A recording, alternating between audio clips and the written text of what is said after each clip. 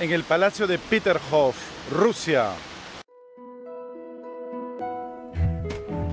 Y acá ya estamos en la entrada, a un lado en realidad es uno de los muchos lugares bonitos que vamos a ver. Así que vamos a ir avanzando. Son pequeñas este, estaciones, pequeñas construcciones, pero lo más importante más allá. Ya estamos adentro del palacio y este maravilloso cartel nos caga todo. Bueno, y aquí estoy en una pantalla que en realidad yo no entiendo qué significa. Parece que es como una especie de rompecabezas. no encuentro mucho sentido. Tienes que armarlo, no entiendo. Bueno, entonces como no nos dejaron filmar nada, es súper bonito, es bacán. Y bueno, como todo estilo de todos los palacios.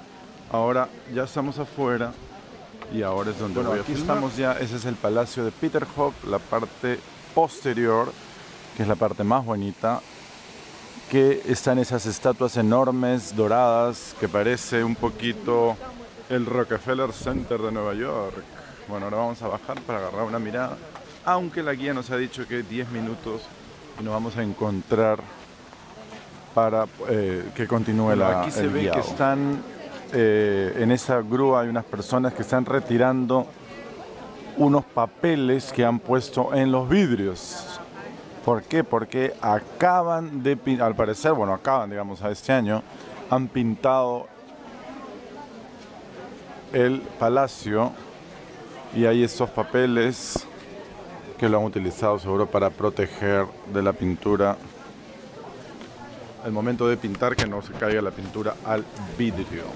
Corrijo la grabación, no están este, quitando, no están, sino al contrario, están poniendo estos estas este, papeles, que no son papeles, es como una especie de papel tecnopor, una cosa así, para probablemente darle mantenimiento. Es al revés lo que Y ahora estamos en la parte de abajo del palacio de Peterhof, que es la parte más bonita para ver Lamentablemente esta cámara no es la mejor cámara para filmar ese tipo de eventos y adicionalmente hay una serie de luces que yo creo que es porque ahí están haciendo, montando un espectáculo y adicionalmente tenemos el sol que está viniendo y adicionalmente hay un huevo gente.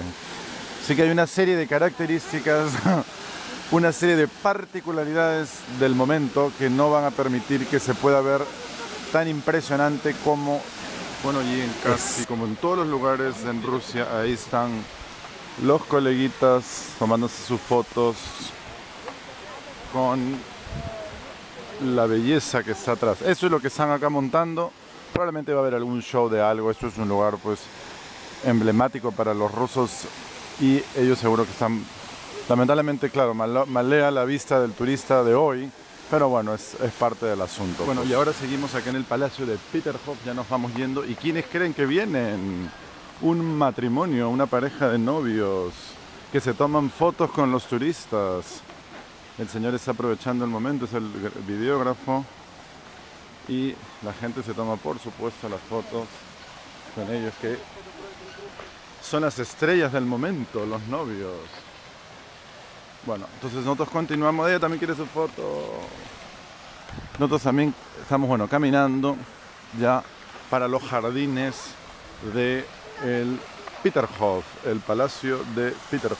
y ahora continuamos ya en los jardines del palacio, donde hay esa estatua de el dios del mar abriendo un cocodrilo la boca y cuatro tortugas alrededor. Hay una serie de fuentes que vamos a ir visitándolas, vamos a ir paseando. La guía nos contó que los jardines, como es previsible, van cambiando dependiendo de la estación y que es muy bonito visitarlo en las cuatro estaciones diferentes porque, por ejemplo, ahora que es finales del verano, estamos empezando el otoño, eh, aún está verde todo, Aquí hay gente que está arreglando, pero después ya se va a poner amarillo, naranja, rojo. Después en invierno se pela por completo y se pone blanco. Y después, bueno, de nuevo viene el verano y se pone otra vez verde. Así que es eh, un privilegio para las personas que viven acá poder venir en los diferentes momentos. Eh, los turistas, el turismo masivo es solamente en verano porque el resto es frío, congelado, sobre todo el tema del turismo de, de cruceros. Porque después el mar de esta parte está congelado y no pueden entrar barcos de cruceros. Aparte los cruceros no van a un lugar donde hay tanto frío. en otra de las cascadas que yo no sé si se puede ver ahí arriba. Hay tres dragones chinos tipo chifa. Ahí sí, horrible el gusto, no pasa nada. Bueno, son estatuas de mármol. Bueno, y ahora ya estamos regresando de la visita de los parques y parece que va a llover. El cielo se está nublando con roche. Y ahorita cae la lluvia, ya hay una que otra gotita que cae por ahí. Justo en el momento que ya estamos terminando la visita, por suerte.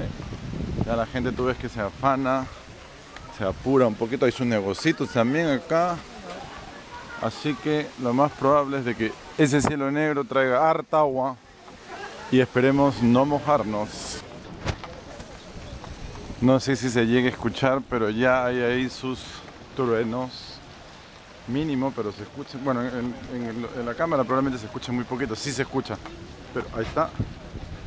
Así que la lluvia se avecina y la gente lo sabe y saca sus paraguas porque va a llover en cuestión de minutos. Me encuentro ahora en las boleterías del Palacio de Peterhof y me llama la atención que, ah no, sí hay en inglés, sí hay por supuesto, está todo en inglés la entrada es 500 rublos, que viene a ser un poco menos de 10 dólares, y para estudiantes la mitad. Y hay un horario de descuento que es en la tarde, de las 6 a 7 y media, está bien. Menos de 10 dólares para entrar a ver un palacio, es para un palacio de lujo y todo el tema que ha costado mucho dinero al Estado recuperarlo después de la Segunda Guerra Mundial por culpa de los nazis. Me parece que es un precio bastante, bastante decente, bastante moderado y muy bien, me parece muy bien. Ahora, el transporte, porque estamos lejos de San Petersburgo, de San, Petersburgo estamos aproximadamente como unas más de como 45 minutos, no una hora menos. Ah, el transporte, bueno, y todo ese tema es un poco más caro, pero Rusia es bastante barato, es un país muy barato. Acá uno cambia 100 dólares y eres rey.